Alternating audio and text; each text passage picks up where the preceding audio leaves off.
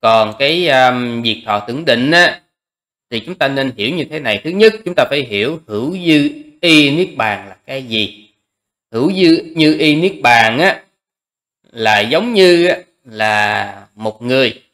Tức là một vị á, đã chứng đắc đạo quả giải thoát rồi biết niết bàn là cái gì rồi. Nhưng mà vị đó vẫn còn mang cái thân xác này và chưa viên tịch. Cho nên chúng ta gọi là hữu dư y niết bàn à, có một cái ví dụ cho quý vị à, dễ hình dung.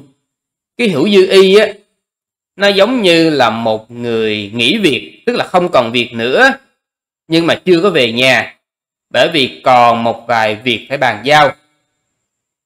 Nhưng mà trên tinh thần là vị đó đã nghỉ làm việc rồi nhưng mà còn phải bàn giao nhiều thứ cho nên là chưa có về liền còn khi mà một vị à, khi vị đó, đó nhập vào cái gì họ tưởng định á thì à, một là nó giống như á, là khi mà cái người nghỉ làm đó đó ngồi nghỉ ngơi ở trên cái ghế của công ty hoặc là tận hưởng một vài cái khoảnh khắc mà mình à, không còn làm việc nữa.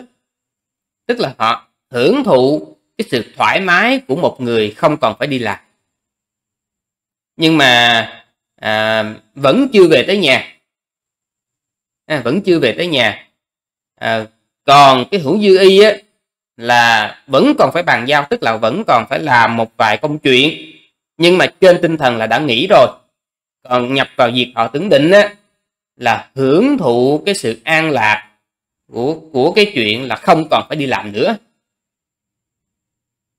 giống như là ngồi trên ghế nghỉ ngơi chơi vậy đó hoặc là ngồi quán cà phê nghỉ ngơi chơi vậy đó nhưng mà chưa về tới nhà. À, cũng tương tự như vậy.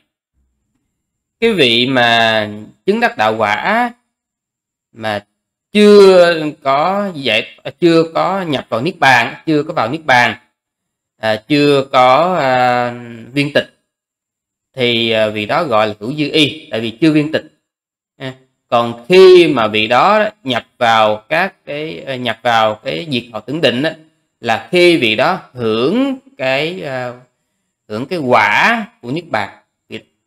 Để vị ấy trải nghiệm uh, hưởng cái quả niết bàn. Thì chúng ta nên phân biệt hai việc này.